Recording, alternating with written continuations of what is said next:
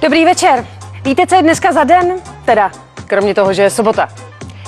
Světový den vrabců. Jako fakt. A kromě toho samozřejmě je rovnodennost a první jarní den a právě proto začal v Praze Spring Festival, který bude samozřejmě jenom online, ale zaplať pambu za ty dary. A my máme na místě Míšu, která si vlastně užívá takovou soukromou jízdu. Každá sranda jednou končí, některá trvá díl, některá ne a třeba slavná reality show uh, sester Kardashianových byla v Americe na paletě od roku 2007, ale rozhodli se skončit. Jo? Byla to show, kde v podstatě neznali žádná tabu a teď se neví, jo? Amerika pláčen nebo je ráda?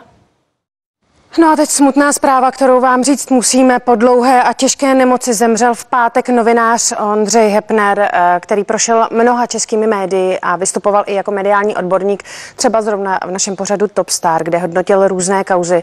Měl dvě dcery s dvěma herečkami a jeho odchod v 55 letech je prostě skličující.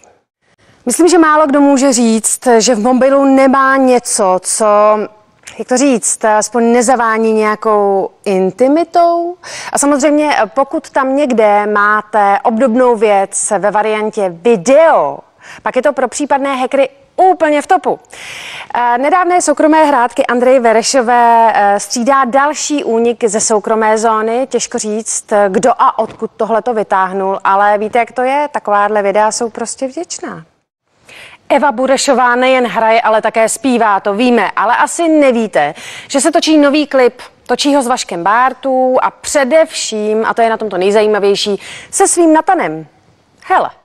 A dneska je taky Mezinárodní den štěstí, takže jenom v rychlosti dvě moje oblíbené. Za prvý štěstí není dáno osudem, je to otázka vašeho rozhodnutí a to rozhodnutí můžete udělat klidně teď hned.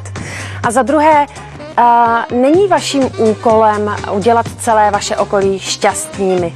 Protože co? Protože prostě nejste čokoláda. Hezký večer.